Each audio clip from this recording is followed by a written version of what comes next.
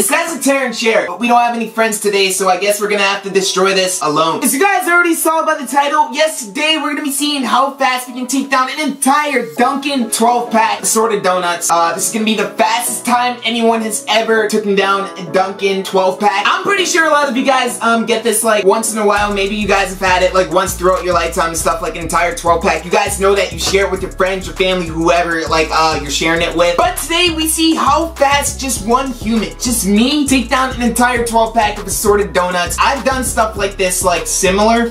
I have no idea if that just made sense, but I've done similar stuff like this. I've taken down two dozens of assorted donuts as fast as possible. I've taken down glazed donuts as fast as possible. But today is the day we get the official time for the assorted donuts where we're actually gonna destroy this, devour this. And I don't think anyone has done this faster. So make sure you guys put down below and smash that like button because this is the world record for Dunkin' assorted donuts like as fast as possible. I know a lot of people love Krispy Kreme better than Dunkin' and stuff. I've never, comment down below which is better, Dunkin' and Krispy Kreme. I know the comments are gonna go crazy for Krispy Kreme and stuff. I have no idea like half of these flavors right here. I just know, I just kind of want to destroy this. I don't want to go through like the flavors of these donuts. Um, we have purple donut, white donut, brown donut. Let's just destroy this. Challenge starts. Three, two, one, go.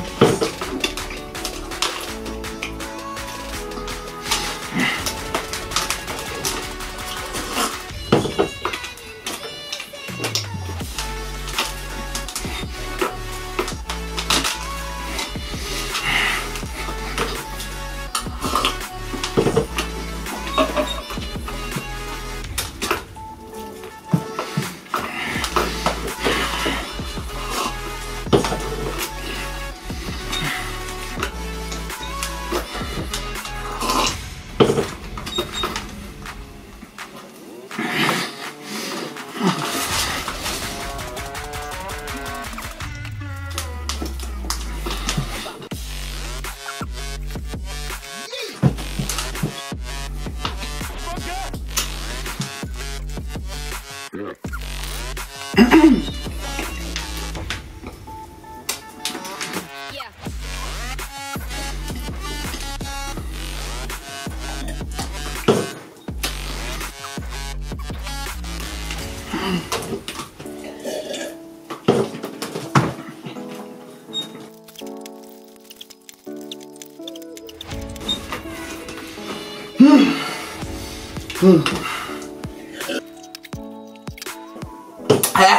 Whew. Ah, holy smokes. 12 pack assorted donut destroyed, devoured in 3 minutes and 30 seconds or something like that. I'll leave the time right up there on the screen. I felt like I destroyed that, but then I feel like I could have like gone like a little bit faster. If I wouldn't have like literally almost died like on that, that sixth donut. I like felt like so like stuck in my throat, like right in the middle of there, like I couldn't get that down. I've actually done a video, it was probably like over a year ago or something like that. I took down two dozens of assorted donuts. Like I felt like that was like one of my most funnest video, which uh, a lot of people probably didn't see. I'll be leaving a link to that video down below in the description if you guys want to check that out. Two dozens of assorted donut. I, I destroyed that challenge. I felt like I felt like it could have done like a lot more. Also, if you guys have any other videos you guys want to see me do, whether it's food challenge or chug, spam the comments down below. I do have a chug coming tomorrow. Like for those of you who like my chugs more than a food challenge is. And if you are not already subscribed, make sure you guys are subscribed. Turn on the post notification bell so you guys never miss a video. Share with your friends, whoever you live with and stuff. They'll be entertained and stuff. This was today's chug. Why did I say chug? This is a food challenge. that is gonna wrap it up for this video. I'm gonna end off the video right there. Hope you guys enjoyed. Like this video if you enjoyed. Also share, subscribe if you're new. Stay lit and as always, see you guys next one. We are out.